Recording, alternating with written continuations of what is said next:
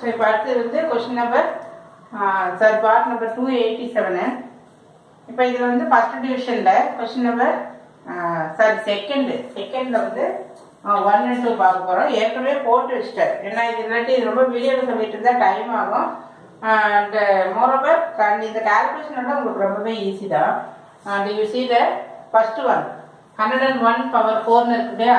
இது நமக்கு binomial theorem use பண்ணணும்னா X plus A whole power N இந்த ஃபார்முலால நம்ம எக்ஸ்பேண்ட் பண்ணணும். So X plus A whole power N கொண்டு வரதுக்காக ஹண்ட்ரட் பிளஸ் ஒன்னு பிரிச்சுட்டோம். ஸோ எக்ஸுங்கிறது வந்து ஹண்ட்ரடு ஒன் அப்படிங்கிறது ஏ இங்கே ஃபோர் இருந்தால் நம்பர் ஆஃப் டேர்ம்ஸ் வந்து ஃபைவ் இருக்கும். ஸோ கவுண்ட் பண்ணி பார்த்தீங்கன்னா one two three four five so five terms வந்து இருக்கும். அப்போ இது four C zero four C one four C two four C three four C four then power four three two one இது இது டிக்ரீசிங்காக இருக்கும் இந்த பக்கம் வந்து இன்க்ரீசிங்காக வரும். Zero one two three four அப்படி எழுதிட்டு இதனுடைய மியர் கால்குலேஷன் உண்டு. Four C ஜீரோனா this is nothing but one so no need to write one power zero that also one no need to write இதில் நாலு அப்படின்னப்போ நாலு தடவை ஜீரோ டபுள் டபுள் ஜீரோ சேர்க்கணும் நாலு ஜீரோன்னு அர்த்தம் இல்லை. Two zero two zero two zero two zero then one இது வந்து ஃபோர் அப்படின்னு சொல்லி அப்படி இருக்கும்.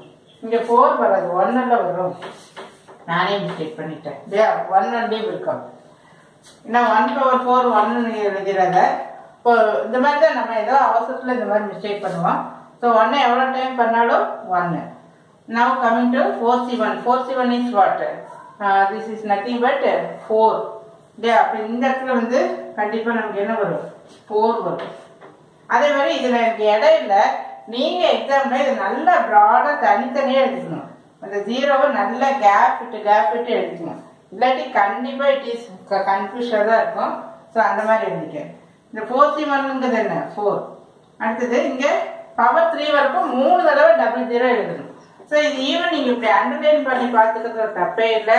அண்ட் வாட் யூ ஆர் டூயிங்னோ நல்லா தள்ளி தள்ளி கேப் விட்டு எழுதிக்க and coming to the next one four C two four C two இங்கே ஒரு கால்குலேஷன் போட்டிருக்கு. இதை ஃபாலோ பண்ணிக்க. இங்கே ஸ்கொயர்னா டபுள் ஜீரோவை டூ டைம்ஸ் எழுதுறேன். இந்த மாதிரி அண்டர்லைன் பண்ணிக்க.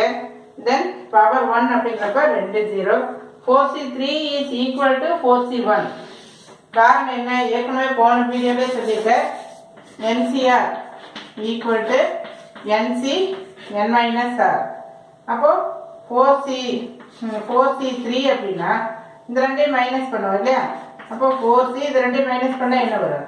ஒன்று ஸோ ஃபோர் சி த்ரீயும் ஃபோர் சி ஒன்று ஈக்குவல் ஃபோர் சி த்ரீ எடுக்கிறத விட ஃபோர் சி ஒன்னுனா இட் இஸ் இமீடியட்லி கொஞ்சம் ஷார்ட்டாக இருக்கும். ஃபோர் சி ஃபோர் இஸ் ஒன்று அதே மாதிரி இதுவும் விட்டு மிச்சத்தை இந்த இடத்துல நமக்கு என்ன இருக்குது ஹண்ட்ரட் பவர் ஜீரோ இதுவும் நமக்கு ஒன் அப்படின்னு ஸோ இதுவும் ஒன்று இதுவும் ஒன்று so no need to nineteen so one போட்டு இந்த கால்குலேஷன் போட்டுரும் ஸோ இது same way same explanation care also இது வந்து பார்த்து இது கண்ணை கட்டி காட்டி விட்ட மாதிரி இருக்கும்.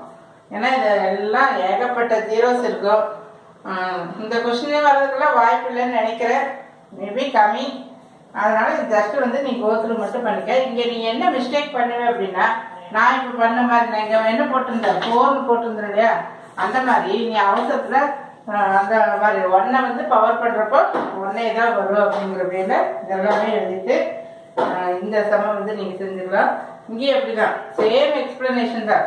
இங்கே பவர் ஃபைவ்ன்றப்போ இந்த three three zero five times you are writing அப்போ one two three four five இப்படி அண்டர்லைன் பண்ணி பார்த்தீங்கன்னா it will be easy for you so thank you அடுத்த கொஸ்டினை அடுத்த வீடியோவில் பார்க்கலாம்.